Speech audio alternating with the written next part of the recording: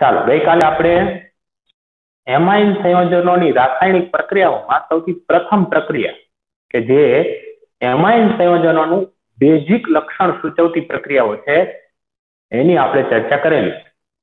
અને સૌથી છેલ્લે આપણે જોયેલું કે એમાઇન સંયોજનોની બેઝિક પ્રબળતા ઉપર વિસ્થાપક સમૂહોની કેવા પ્રકારની અસર થાય છે એ માત્ર આપણે ધન પ્રેરક અસરને આધારે સમજાવી શકતા નથી.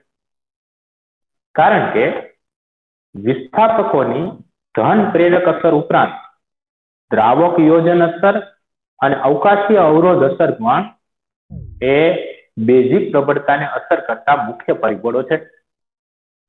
તો એનો અર્થ એવો થાય કે એમાઇન સંયોજનોના બેઝિક પ્રબળતાનો આધાર એમના બંધારણ ઉપર હોય.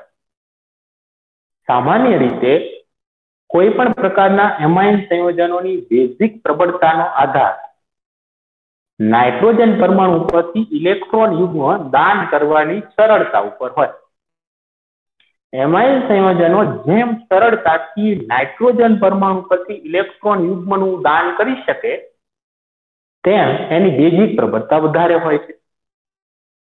એના બદલે આપણે એવું પણ કહી શકીએ કે એમાઇન સંયોજનોની પ્રોટોનેશન પામવાની સરળતા જેમ વધારે પ્રોટોનેશન પામવું એટલે એચ પ્લસ સ્વીકારવું.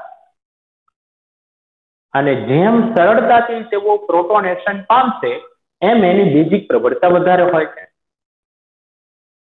અથવા તો આપણે એવું પણ કહી શકીએ કે કોઈ પણ એમાઇન સંયોજન પ્રોટોનેશન પામ્યા બાદ અથવા તો નાઇટ્રોજન ઉપરથી અબંધકારક ઇલેક્ટ્રોન યુગ્મનું દાન કર્યા બાદ જે ધનાયન અથવા તો કેટાયન ઉત્પન્ન કરે છે. આ ધન આયન અથવા કેટાયનની સ્થિરતા જેમ વધારે હોય, એમ એમાઇન સંયોજનોની બેઝિક પ્રબળતા વધારે હશે.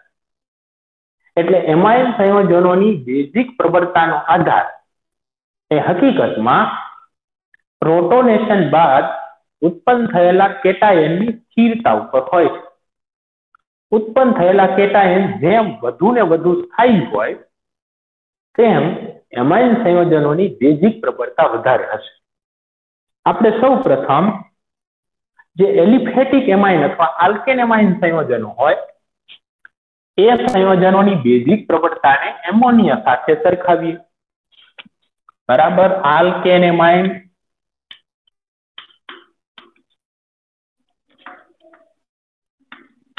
અથવા તો એલિફેટિક એમાઇન સંયોજનોની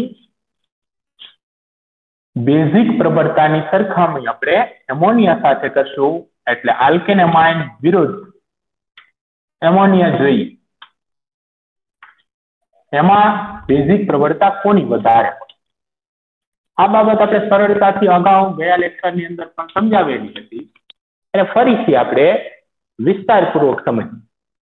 જો આપણે આલ્કેનેમાઇન અને એમોનિયાની બેઝિક પ્રબળતાની સરખામણી કરવી હોય, તો બંનેની પ્રોટોનેશન પ્રક્રિયાને ધ્યાનમાં લેવી પડે. આપણે કોઈ પ્રાથમિક એમાઇનને સૌપ્રથમ ધ્યાનમાં લઈએ. પ્રાથમિક એમાઇનની અંદર મધ્યસ્થ નાઇટ્રોજન સાથે બે હાઇડ્રોજન અને એક આલ્કાઇલ સમૂહ જોડાયેલો હશે. અહીંયા આપણે એક આલ્કાઇલ સમૂહ આર લીધેલો એની પ્રોટોનેશન પ્રક્રિયાની અંદર એ એચ પ્લસ વડે પ્રોટોનેશન પામે ત્યારે નાઇટ્રોજન ઉપરથી અબંધકારક ઇલેક્ટ્રોન એચ પ્લસ ને આપી અને એમાંથી એક વિસ્થાપિત એમોનિયમ આયન એવો કેટાયન ઉત્પન્ન કરશે. કે જેમાં મધ્યસ્થ નાઇટ્રોજન સાથે એક આલ્કાઇલ સમૂહ અને ત્રણ હાઇડ્રોજન જોડાયેલા હશે. અને નાઇટ્રોજન ઉપર ધન વીજભાર હશે. આવો એક વિસ્થાપિત એમોનિયમ આયન ઉત્પન્ન થાય? હવે આપણે એમોનિયાની પ્રોટોનેશન પ્રક્રિયાને ધ્યાનમાં લઈએ. એમોનિયાની અંદર મધ્યસ્થ નાઇટ્રોજન પરમાણુ સાથે ત્રણે ત્રણ હાઇડ્રોજન જોડાયેલા હોય. એમાં પણ નાઇટ્રોજન ઉપર એક અબંધકારક ઇલેક્ટ્રોન યુગ્મ હોય. એચ પ્લસ વડે એનું પણ પ્રોટોનેશન થાય. ત્યારે એમાંથી એમોનિયમ આયન એટલે કે એનએચ ફોર પ્લસ ઉત્પન્ન થશે.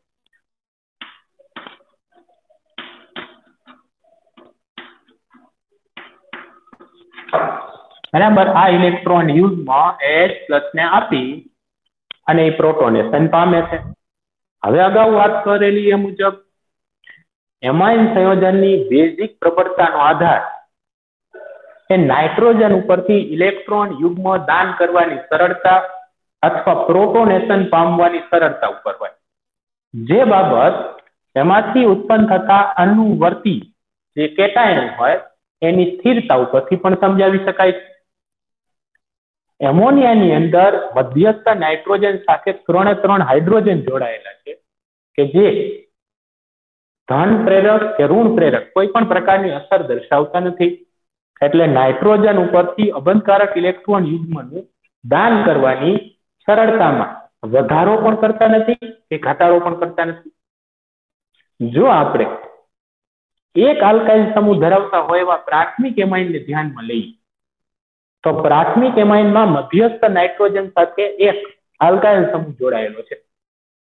અને આ આલ્કાઇલ સમૂહ ઇલેક્ટ્રોન દાતા સમૂહ છે. ઇલેક્ટ્રોન દાતા સમૂહ હોવાને કારણે તે આ બંધના ઇલેક્ટ્રોન યુગ્મને નાઇટ્રોજન તરફ ધકે હશે. નાઇટ્રોજન તરફ એને ધક્કો મારે. અને તેથી નાઇટ્રોજન ઉપરની ઇલેક્ટ્રોન ઘનતા વધે. અને એનું અબંધકારક ઇલેક્ટ્રોન યુગ્મ સરળતાથી દાન થાય. એટલે એ સરળતાથી પ્રોટોનેશન પામે. ઉપરાંત, જે ઉત્પન્ન થતો એક વિસ્થાપિત એમોનિયમ આયન છે, એમાં પણ આ આલ્કાઇલ સમૂહ ધન પ્રેરક અસર દર્શાવે.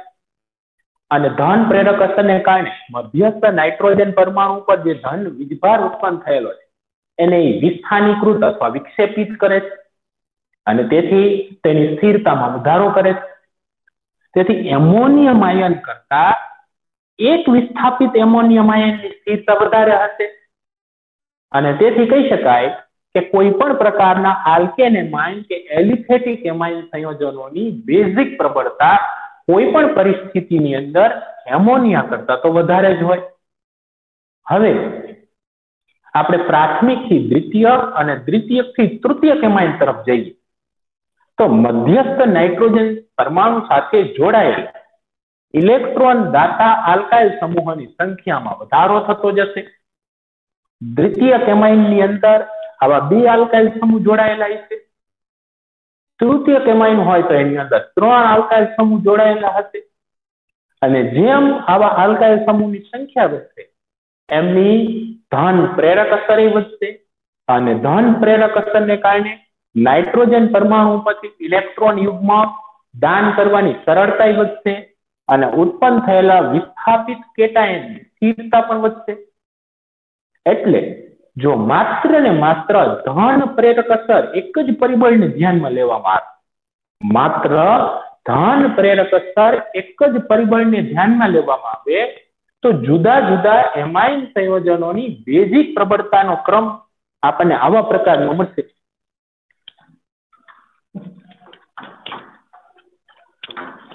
બરાબર? માત્ર ધન પ્રેરક અસરને ધ્યાનમાં લઈએ તો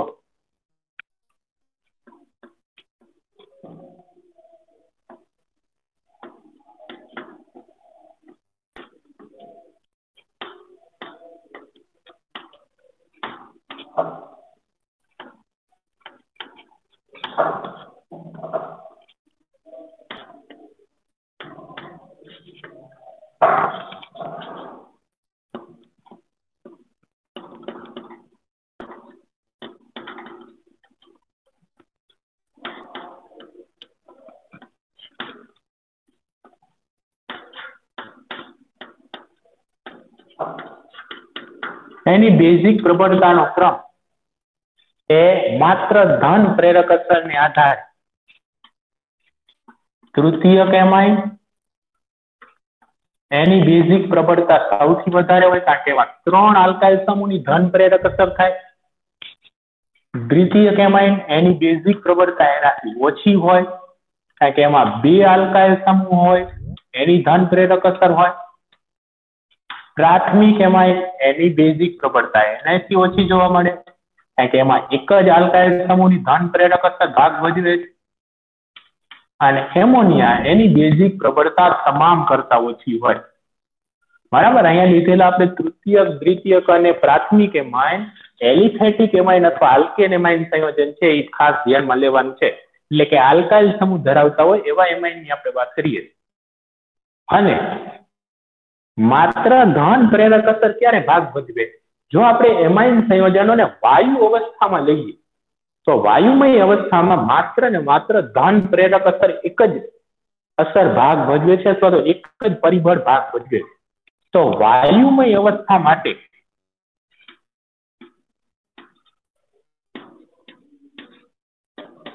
આપણને આલ્કાઇલ એમાઇન સંયોજનો માટે બેઝિક પ્રબળતાનો ક્રમ આવો મળશે. કે વાયુમય અવસ્થામાં તૃતીયક એમાઇનની બેઝિક પ્રબળતા સૌથી વધારે હોય, પછી દ્વિતીયક એમાઇન પછી પ્રાથમિક એમાઇન અને પછી એમોનિયમ પરંતુ જો આપણે આ જ એમાઇન સંયોજનોનું જલીય દ્રાવણ લઈએ, જલીય માધ્યમમાં એને ધ્યાનમાં લઈએ, તો જલીય માધ્યમમાં બેઝિકતાનો ક્રમ આવો જ જોવા મળશે એવું આપણે કહી શકતા નથી.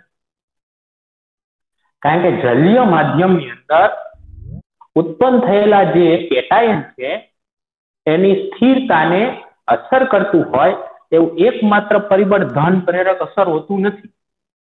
આના સિવાય બીજું એક અગત્યનું પરિબળ, દ્રાવક યોજન અસર, એ પણ ઉત્પન્ન થયેલા કેટાયનને અસર કરે છે. અને દ્રાવક યોજન એટલે જે દ્રાવકના અણુઓ હોય એ ઉત્પન્ન થયેલા કેટાયન સાથે આંતર આણ્વીય હાઇડ્રોજન બંધથી જોડાય.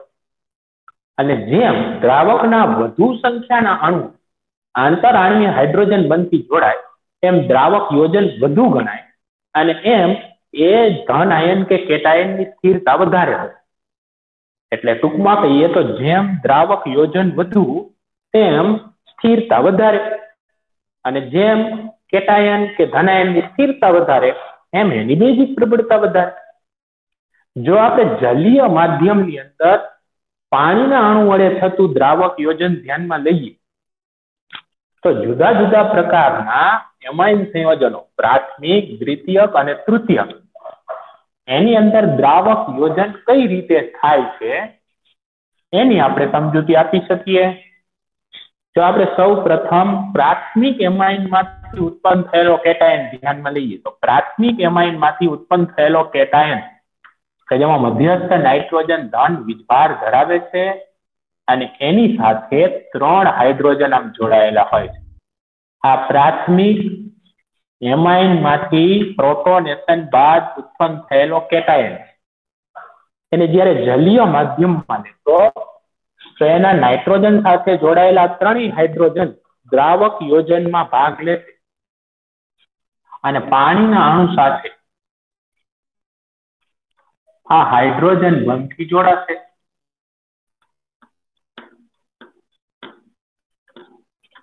બરાબર? તો એની અંદર ત્રણ હાઇડ્રોજન બંધ દ્રાવક યોજનને કારણે થયેલા છે. પાણીના ત્રણ અણુ એની સાથે જોડાયેલા છે. હવે જો આપણે દ્વિતીય કેમાઇનમાંથી ઉત્પન્ન થયેલો હોય, એવો કેટાયન ધ્યાનમાં લઈએ કે જે દ્વિતીય કેમાઇનના પ્રોટોનેશનથી ઉત્પન્ન થયેલો છે. તેમાં મધ્યસ્થ નાઇટ્રોજન સાથે બે આલ્કાઇલ સમૂહ હોય અને બે હાઇડ્રોજન જોડાયેલા હોય. આ ધન વીજભારિત નાઇટ્રોજન.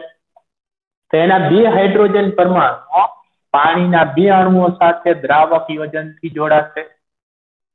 જો પ્રાથમિક એમાઇનના પ્રોટોનેશનથી ઉત્પન્ન થયેલા કેટાયન કરતા દ્વિતીય એમાઇનમાંથી ઉત્પન્ન થયેલો જે કેટાયન છે, એમાં દ્રાવક યોજન ઓછું જોવા મળે આમાં ત્રણ પાણીના અણુ હાઇડ્રોજન બનથી જોડાયેલા છે. આમાં બે જ જોડાયેલા છે.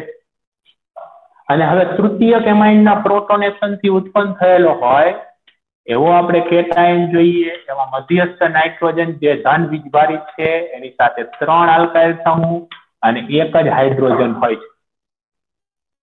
તો એમાં પાણીનો એક જ અણુ દ્રાવક યોજનથી જોડાશે, હાઇડ્રોજન બંધ બનાવશે.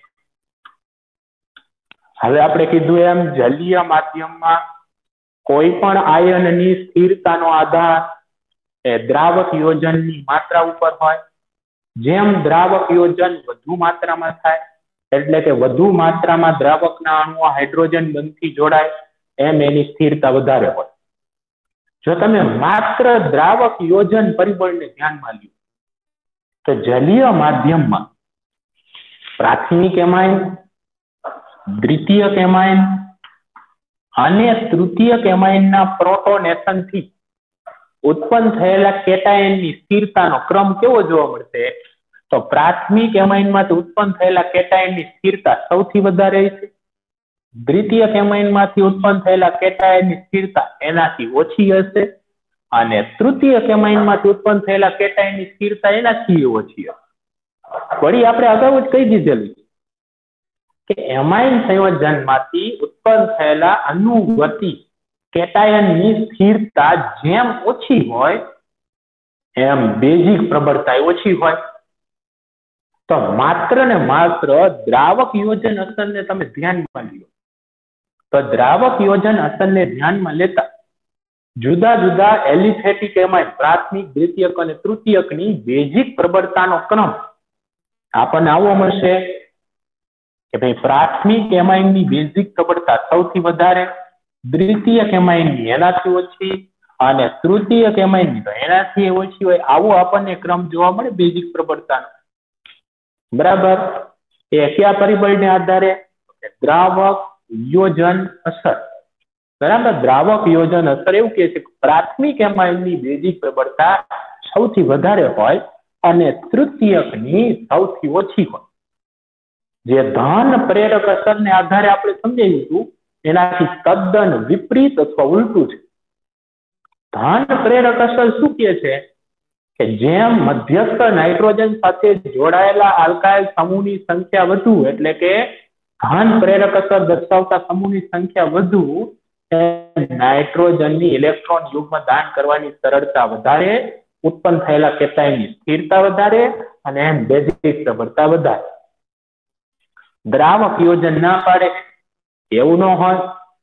એમ કે છે કે જલીય માધ્યમમાં ઉત્પન્ન થયેલા કેટાયનનું, જેમ દ્રાવક યોજનથી વધુ સંખ્યામાં પાણીના અણુ સાથે હાઇડ્રોજન બંધન થાય, એમ એની સ્થિરતા વધારે અને એમ એની બેઝિક પ્રબળતા વધારે. તો એમ કે છે કે પ્રાથમિક એમએનની બેઝિક પ્રબળતા સૌથી વધારે હોય. એટલે હકીકતની અંદર જલીય માધ્યમમાં માત્ર એક જ પરિબળ ધ્યાનમાં લઈએ, તો આપણે બેઝિક પ્રબળતાનો સાચો ક્રમ લખી શકીએ નહીં. એટલે આ બંને પરિબળોને સંયુક્તપણે લેવા પડે.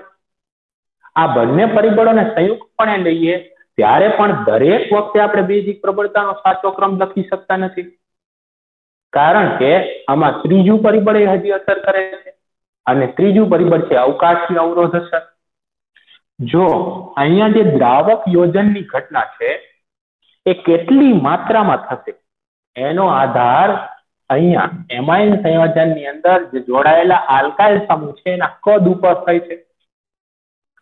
જો આલ્કાઇલ સમૂહ આર તરીકે મિથાઇલ સમૂહ લઈએ સી એચ સી તો એ નાના કદનો હોય છે, અવકાશીય અવરોધ અસર બિલકુલ ઉત્પન્ન કરતો નથી.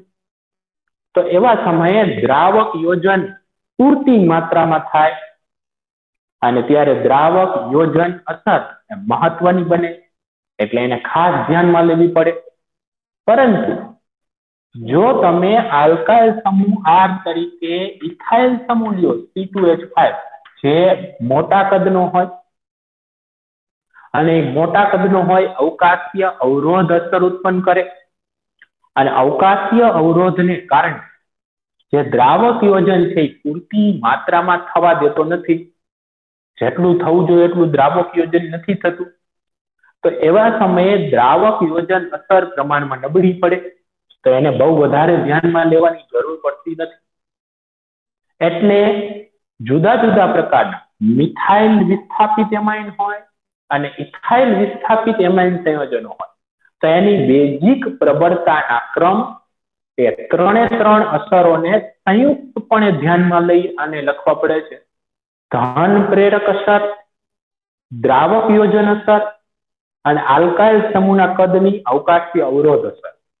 ત્રણેયને સંયુક્તપણે ધ્યાનમાં લઈએ, ત્યારે આપણને ધ્યાન આવે છે કે કોઈ પણ પ્રકારના મિથાઇલ વિસ્થાપિત હોય કે ઇથાઇલ વિસ્થાપિત એમાઇન હોય.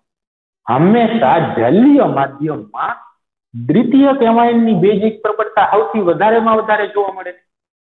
દ્વિતીય એમાઇનની બેઝિક પ્રબળતા હંમેશા વધારે જોવા મળે છે. શું કામ? તો કે એ બંનેનો ઉપયોગ કરી લે છે. એની પાસે બે આલ્કાઇલ સમૂહની ધન પ્રેરક અસર છે અને પાણીના બે અણુઓ સાથે હાઇડ્રોજન બંધનથી દ્રાવક યોજન કરવાની એક ક્ષમતા છે. અને તેથી જ દ્વિતીય કેમાઇનની બેઝિક પ્રબળતા જલીય માધ્યમમાં પ્રાથમિક એમાઇન હોય કે તૃતીય કેમાઇન હોય, બંને કરતા વધારે જોવા મળે. માત્ર શેમાં લેવાનું છે? જલીય માધ્યમમાં. દ્વિતીયકની બેઝિક પ્રબળતા સૌથી વધારે વધારે જોવા મળે. પછી પ્રાથમિક અને તૃતીય એમાઇન પૈકી કોની બેઝિક પ્રબળતા વધારે હશે? એ નક્કી કરવા માટે આલ્કાઇલ સમૂહનું કદ મહત્વનું બને છે.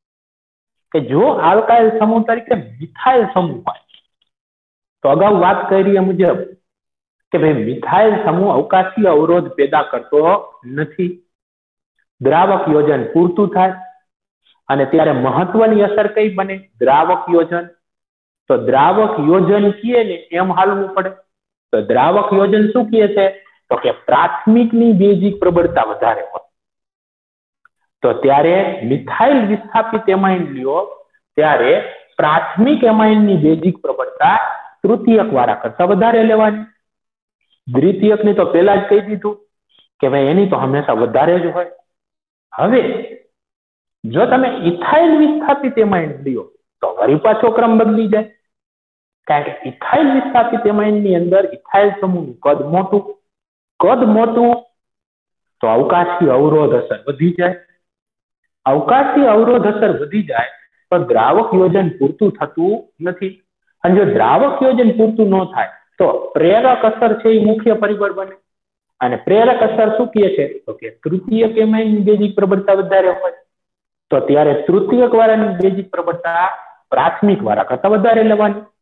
અને હવે આપણે જલીય માધ્યમમાં જો બેઝિક પ્રબળતાનો ક્રમ લખીશું, તો મિથાઇલ વિસ્થાપિત એમાઇન અને ઇથાઇલ વિસ્થાપિત એમાઇન બંને માટે સરળતાથી લખી શકશું અને બંને માટે ક્રમ અલગ અલગ આપણને મળશે. જો પહેલા આપણે લઈએ મિથાઇલ વિસ્થાપિત એમાઇન માટે.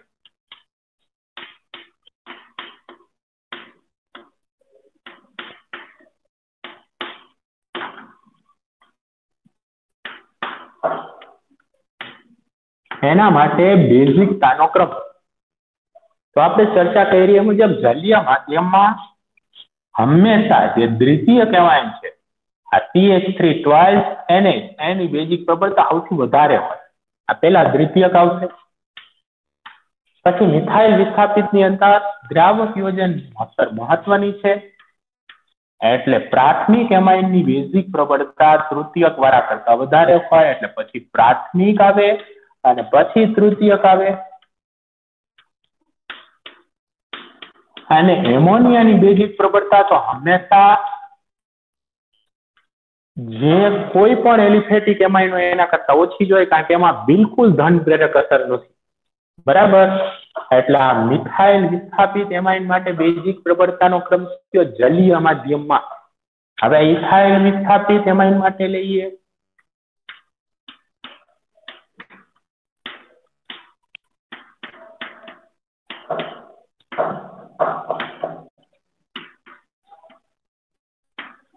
ઇથાઇલ વિસ્થાપિત એમાઇન માટે જલીય માધ્યમમાં બેઝિક પ્રબળતાનો ક્રમ. આપણે કીધું એમ દ્વિતીયક વાળો એવો છે કે જે બધાયનો લાભ લઈ લે છે. બરાબર એટલે એની બેઝિક પ્રબળતા તો સૌથી વધારે જ લેવાની છે. પછી ઇથાઇલ વિસ્થાપિતની અંદર ઇથાઇલ સમૂહનું કદ મોટું છે, અવકાશી અવરોધ ઉત્પન્ન કરે છે. દ્રાવક યોજન પૂરતી માત્રામાં નહીં થાય. એટલે ત્રણ ઇથાઇલ સમૂહની ઘન પ્રેરક અસર, દ્રાવક યોજન અસરને બતાવી જાય. એટલે જે ટ્રાઇથાઇલ એમાઇન હોય, એની બેઝિક પ્રબળતા પ્રાથમિક એમાઇન, ઇથાઇલ એમાઇન કરતા વધારે આવશે.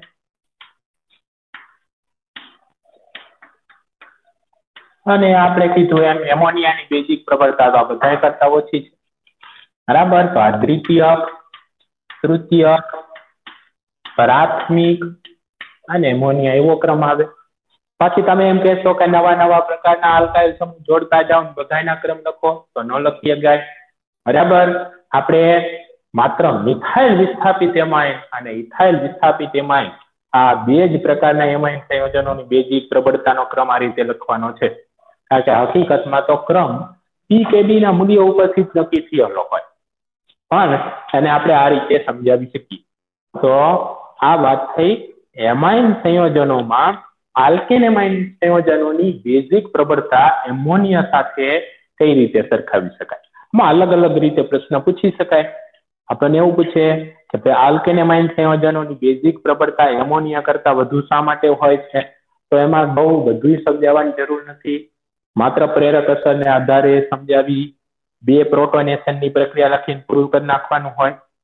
પણ એમ કહે કે ભાઈ જલીય માધ્યમમાં જુદા જુદા આલ્કેનેમાઇન સંયોજનોની બેઝિક પ્રબળતાનો ક્રમ શા માટે બદલાય છે? તો આખે આખું સમજાવવું પડે. બરાબર? કારણ કે એમાં ત્રણે ત્રણ પ્રકારની અસરની વાત આપણે કરી અને છેલ્લે મિથાઇલ વિસ્થાપિત એમાઇન અને ઇથાઇલ વિસ્થાપિત એમાઇનની બેઝિક પ્રબળતાનો ક્રમ લખવાનો થાય. ચાલો, આ ટોપિકની અંદર હવે કોઈને કઈ પ્રશ્ન હોય તો કયો?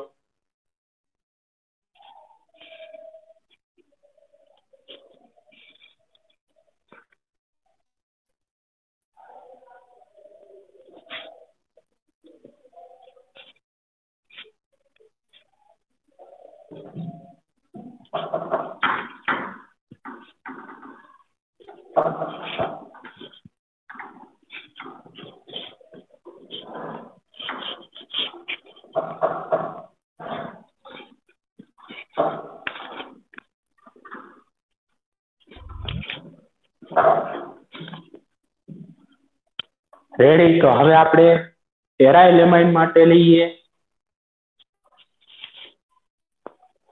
એરાઇલ એમાઇન અથવા તો એરોમેટિક એમાઇન છે. એની બેઝિક પ્રબળતાની સરખામણી એમોનિયા સાથે કરીએ. એરાઇલ એમાઇન વિરુદ્ધ એમોનિયા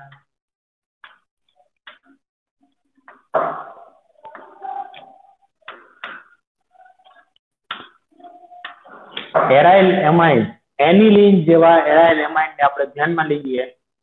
તો એરાઇલ એમાઇન સંયોજનો છે એની બેઝિક પ્રબળતા એમોનિયા કરતા ઓછી જોવા મળશે. તેઓ એમોનિયા કરતા નિર્બળ બેઝ તરીકે વર્તે છે.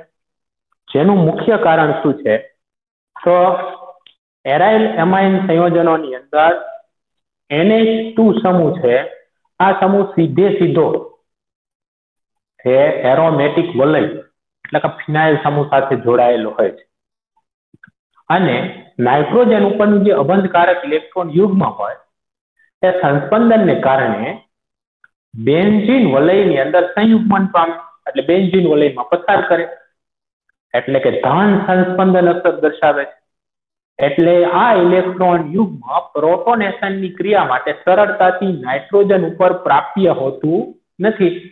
અને તેથી એની ઇલેક્ટ્રોન યુગ્મ દાન કરવાની કે પ્રોટોનેશન પામવાની સરળતા ઓછી હોય છે. અને તેથી એની બેઝિક પ્રબળતા પણ ઓછી જોવા મળશે. જો આપણે એનિલિનના જુદા જુદા સંસ્પંદન બંધારણો દર્શાવીએ, તો એના ઉપરથી બાબત વધુ આપણે સ્પષ્ટીકરણ સ્વરૂપે કહી શકશું. આપણે લઈએ બેન્ઝિન ઉપર NH2 એટલે કે એનિલિન. એની અંદર નાઇટ્રોજન પરમાણુ ઉપર એક અબંધકારક ઇલેક્ટ્રોન યુગ્મ છે, જેના કારણે બેઝિક પ્રબળતા દર્શાવે છે. આ ઇલેક્ટ્રોન યુગમાં બેન્ઝીન વલય સાથે સંયુગ્મન પામે છે. એટલે બેન્ઝીન વલયમાં ઇલેક્ટ્રોન યુગમાં દાન કરશે, ધન સંસ્પંદન અસર દર્શાવશે. અને આપણે એના જુદા જુદા સંસ્પંદન બંધારણો હવે દોરીએ તો આ ઇલેક્ટ્રોન યુગમાં અહીંયા નવા પાઇબંધની રચના કરે. એટલે આ પાઇબંધ તૂટી અને એનું ઇલેક્ટ્રોન યુગમાં એનએચ ટુ થી ઓર્થો સ્થાનમાં રહેલા કાર્બન પર સ્થાનાંતર પામે. આ રીતે આપણે બંધારણ બનશે હવે. અહીંયા થઈ જશે દ્વિબંધ NH2 હવે નાઇટ્રોજન ઉપર ઇલેક્ટ્રોન યુગમાં નથી થયું, એને આપી દીધું. એટલે એના ઉપર પ્લસ ચાર્જ આવી ગયો, જો એના ઉપર એ પ્રાપ્ય નથી. જે વસ્તુ એની પાસે ન હોય, એ અહીં સરળતાથી અંતર્દાન ન કરી શકે. હવે તો ઇલેક્ટ્રોન યુગમાં અહીંયા ઓર્થો સ્થાનના કાર્બન ઉપર આવી ગયું છે ફરવા. આ બે બંધો હજી એમના એમ છે. હવે આ ઓર્થોસ્થાનના કાર્બન ઉપર જે ઇલેક્ટ્રોન યુગ્મ છે, એનું દાન થઈ અને અહીંયા નવો પાયબંધ બનશે. જેવો અહીંયા પાયબંધ બને, આ પાયબંધના ઇલેક્ટ્રોન એનએચ ટુ ના પેરા સ્થાન ઉપર સ્થાનાંતર પામે, એટલે ઋણ વીજભાર પેરા ઉપર જતો રહેશે.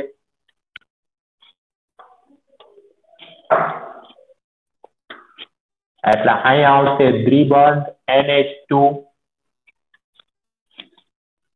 આ પ્લસ ચાર્જ હતો એના એમનો એમ જ.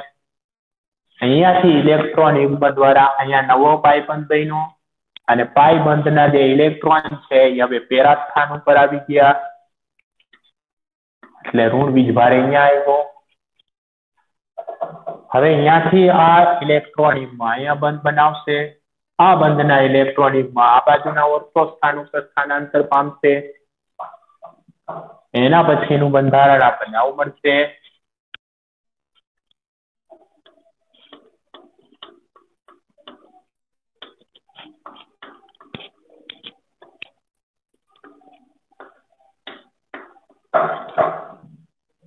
હવે છેલ્લું સંસ્પંદન બંધારણ, આ ઇલેક્ટ્રોન યુગમાં અહીંયા બંધ બનાવશે. બંધના ઇલેક્ટ્રોન યુગમાં દ્વિબંધના પાછા નાઇટ્રોજન ઉપર સ્થાનાંતર પામશે.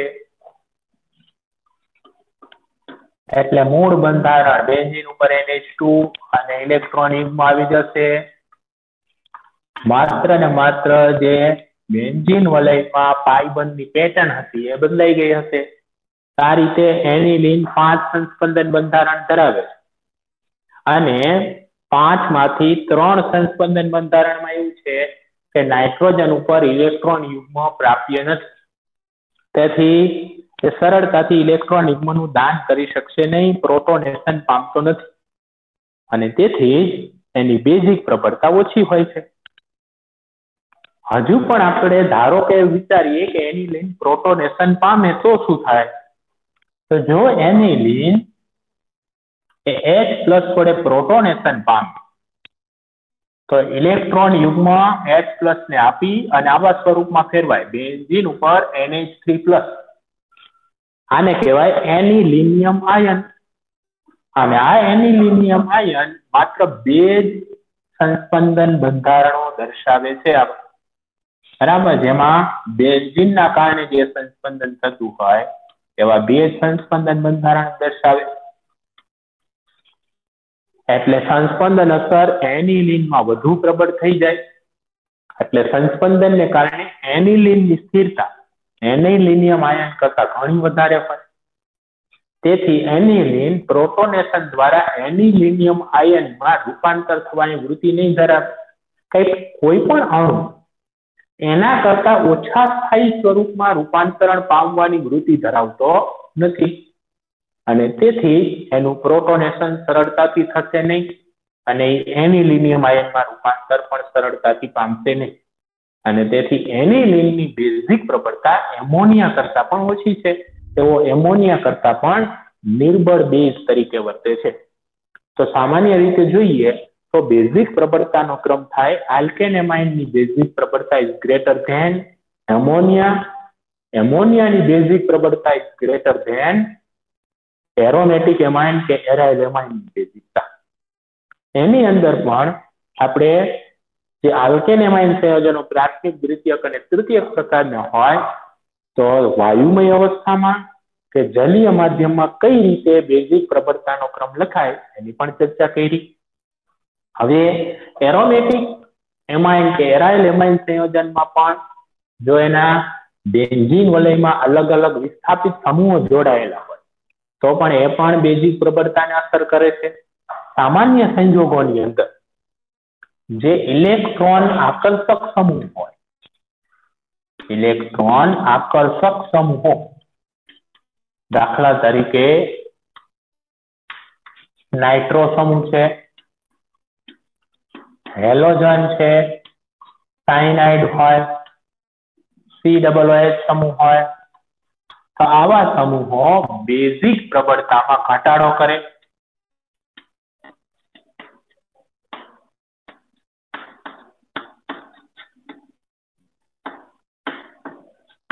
બેઝિક પ્રબળતામાં તેઓ શું કરશે? ઘટાડો કરે, કારણ કે નાઇટ્રોજન ઉપરની ઇલેક્ટ્રોન ઘનતા એ ઘટાડે છે. અને જો ઇલેક્ટ્રોન દાતા સમૂહ હાજર હોય, ઇલેક્ટ્રોન દાતા સમૂહો જેવા કે મિથાઇલ, મિથોક્સી, બરાબર?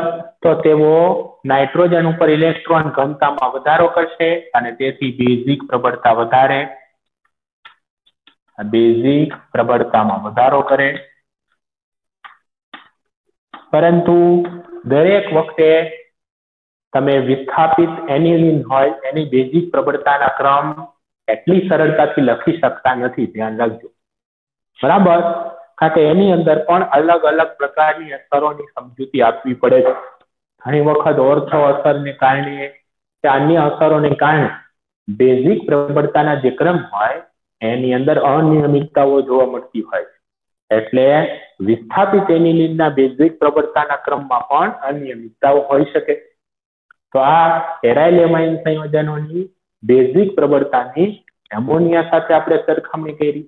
જો અહીંયા આપણે જે એનિલિનના સંસ્પંદન બંધારણો કર્યા છે, એના ઉપરથી આપણે એક બાબત પણ સ્પષ્ટપણે કહી શકીએ કે એનએચ ટુ સમૂહ ધન સંસ્પંદન અસર દર્શાવતો હોય, એના ઓર્થો અને પેરા સ્થાન ઉપર ઇલેક્ટ્રોન ઘનતા વધે છે. તેથી એનિલિનની ઇલેક્ટ્રોન અનુરાગી વિસ્થાપન પ્રક્રિયાઓ હોય તે બેન્ઝીન કરતા ખૂબ જ સરળતાથી થાય. અને તેઓ ઓર્થો પેરા નિર્દેશક તરીકે વર્તે અને સક્રિય કારક સમૂહ તરીકે વર્તે છે. બરાબર એટલે જ્યારે ઇલેક્ટ્રોન અનુરાગી વિસ્થાપન પ્રક્રિયાની આપણે ચર્ચા કરીશું, ત્યારે ફરીથી આ બાબત આપણે યાદ કરવાની થશે. તો ત્યારે આપણે એનિલિનના સંસ્પંદન બંધારણ ફરીથી નહીં દોરીએ. બરાબર? આ અત્યારે જે દોરેલા છે, એનો જ આપણે સંદર્ભ લઈ અને આપણે સમજૂતી આપી શકીશું. ચાલો, આની અંદર પણ કોઈને કાંઈ પ્રશ્ન હોય તો કયો હવે?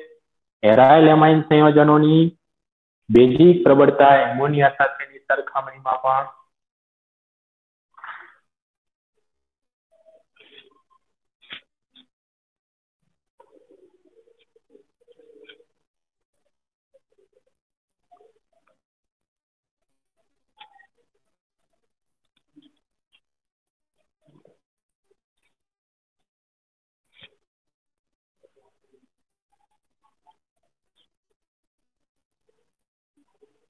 ઓકે, ચાલો.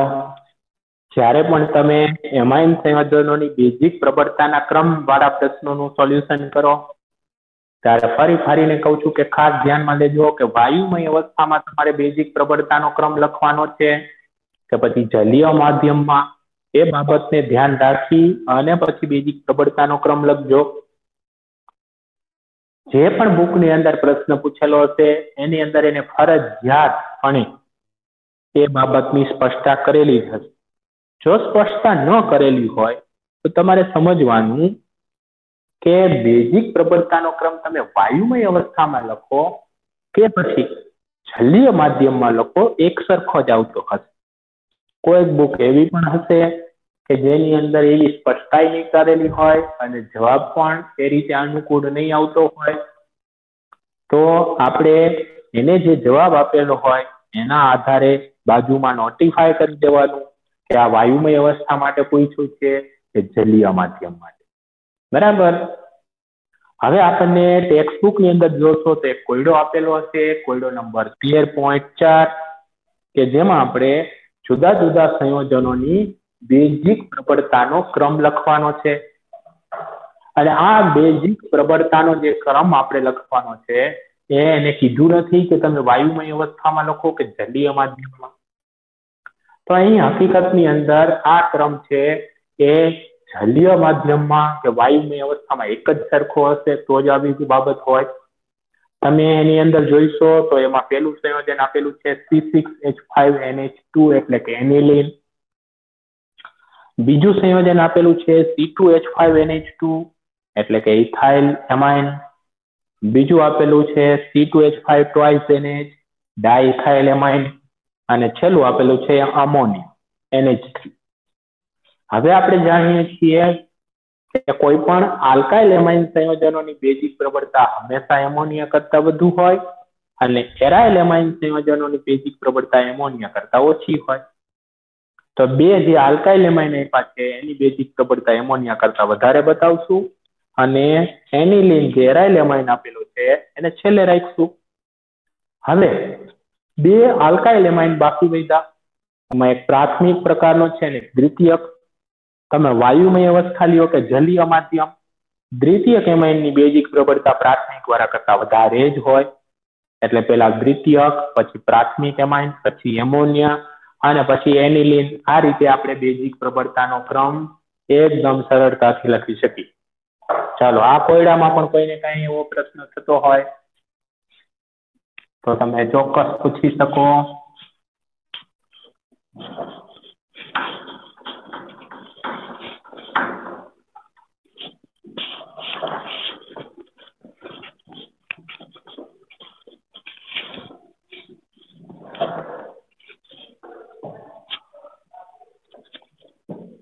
ચાલો, હવે આપણે એમાઇન સંયોજનોની રાસાયણિક પ્રક્રિયાની બીજી પ્રક્રિયા જોઈએ.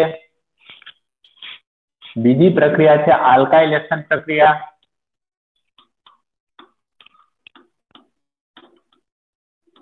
એમાઇન સંયોજનોની આલ્કાઇલેશન પ્રક્રિયાની ચર્ચા આપણે બે વખત કરી લીધી છે.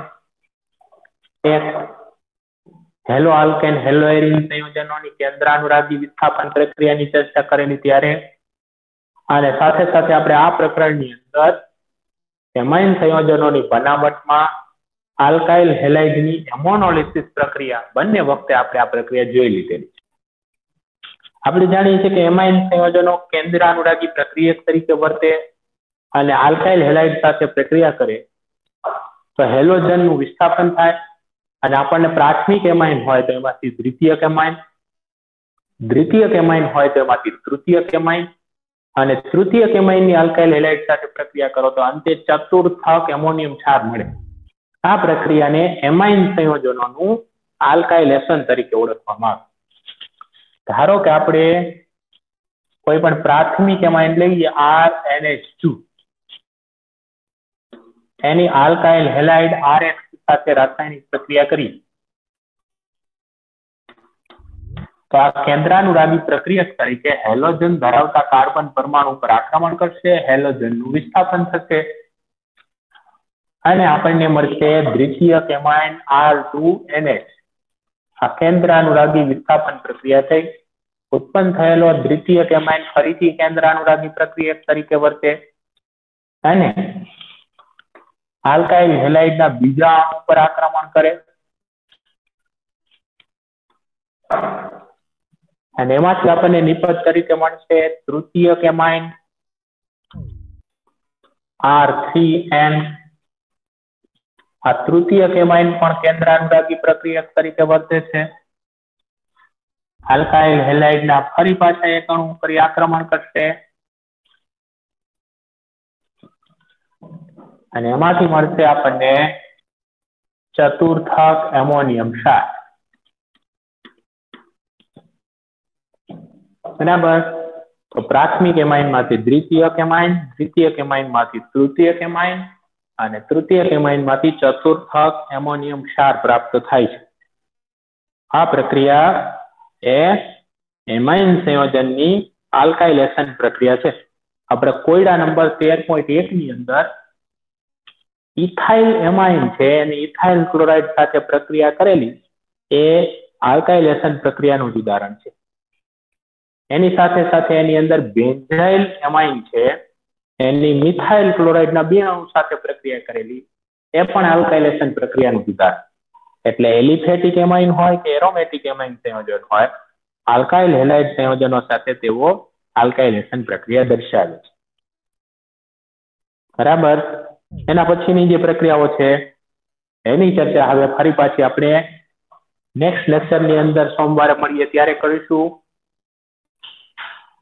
આજે ચલાવેલા ટોપિકની અંદર કોઈને કાંઈ પ્રશ્નો હોય, તો હજુ પણ આપણે એ પ્રશ્નો જોઈએ અને પછી આજનું કાર્ય પૂરું કરીશું.